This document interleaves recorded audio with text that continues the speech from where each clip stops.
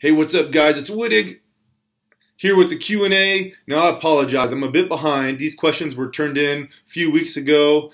It's just been a crazy start of this new year. A lot of exciting things are in the works. Thanks for following me. Thanks for your support. Let's get to these questions. Okay, the first question is by my buddy Ancor, and he asks, how do I deal with clients who cannot get the correct form even after you explain it to them a hundred times? Well, they might get a slap across the face actually they get the good form. I teach it to them. I, I work on it until they have it right. Now, if we get to an exercise and we just are having problems and it's taking up too much time in their session, hey, I'll switch gears and go to a different exercise. There's hundreds of them out there. There's always something we can change to.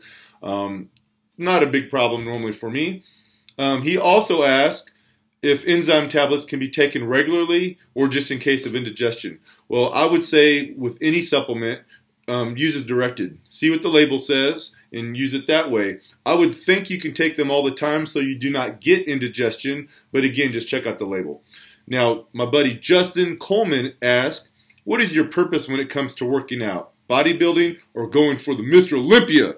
Well, definitely not that. I'm uh, 40 years old and just not near that big. And actually, you know what? I do this for health first. I want to be healthy. I want to be able to be active into old age. I want to be a good influence on my kids. Hey, I want to be an inspiration, influence on all you guys too. So for me, it's health. Then hey, I don't mind looking looking good at 40. You know, having some muscles. Strength is kind of just secondary to me. You know, if I get strength while being healthy and looking good, that's cool too. So that's answered that question.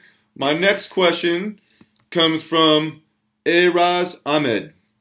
And he has uh, a bunch of stats here about where his current body fat is. He's working out a lot. His goal is to reduce body fat and get a great physique. Now he's talking about thinking about cutting down to 800 calorie diet, but don't know what to eat. And he's telling me about his supplements he's taking. Please, um, he wants to get my advice on what diet to suggest. And he's asking about keto and how effective it is. Sorry I had to summarize that. It was a big, long question. Well, first of all, 800 calories is crazy. That's way too low. You're going to mess up your metabolism doing that unless you're like three and a half feet tall and weigh 80 pounds. Um, I'm, I'm guessing you're not. You're probably a normal man. It says 85 kilograms. So yeah, that's way too low. You're gonna you're gonna shut down and go to sleep and never wake up again. Um, you need to eat, definitely eat more than that to uh, reduce your body fat. You want to keep your metabolism healthy. The goal is to eat as much as possible while losing weight. That's what you need to do. Um, you do need some more consultation. It's kind of hard for me to give you exactly what to eat and how much without knowing you, without knowing what you look like, and, and just everything about your situation. You can shoot me an email though at michael at wittigworks.com and we can talk about it and I'll try to help you the best I can. But 800 calories is way too low. You need to be eating more than that. Generally, higher protein, moderate carbs, and you may drop the carbs over time, but don't start off with no carbs. Moderate carbs and low fats, okay? Try that. Um, let's see. Next question is by Karina Espinoza. It says, I just finished a 12 week transformation and started my powerlifting program to prep for a meet, and I feel like I lost strength instead of gaining. Is this normal? Feel like I've gone backwards instead of forward. Well, if you did a 12 week transformation, those type of programs are generally focused on quick reducing body fat and transforming your physique to a leaner physique. A lot of times they have nothing to do with strength training. So, um, especially if it had you eating less, doing lots of cardio, interval cardio, doing supersets and giant sets, your strength is not going to increase. It may decrease a little bit, um, which is fairly typical when people are cutting. Now, I personally try to lift heavy while cutting, even you know weeks before a, a competition. I may do a few lifts real heavy still because I like to try to keep my strength. So to keep your strength while cutting, you have to be strategic about it and make sure to include some heavier rep ranges in your sets when you're doing that, okay? So that is normal though when you're doing a transformation. So you're to have to switch gears and get back into that strength training to get that strength back so you can outlift all them people. Get some trophies. Okay? Last few questions. Radhay Tawari. Man, I'm so sorry I can't pronounce that, but I'm doing my best. I still like you. Okay, he's asking, my question would be your thoughts on the ketogenic diet, pros and cons, ketosis, recommendations. I'm not a, personally a big fan of the keto diet. I like to get proteins, fats, and carbohydrates. I feel healthier and stronger that way. I can lose body fat with all three of those nutrients. I can gain muscle with all three of those. Um, so I'm not a big fan of any diet that cuts any one of the three macronutrients just out completely. Lowering carbs, that's one thing, but just having no carbs and real super high fats and proteins, I'm just personally not a big fan of it. I feel like um, doing the ketosis, it, it does work. I know friends that have done it and they've lost body fat doing that, but a lot of times they'll lose some muscle too because they're not doing it right.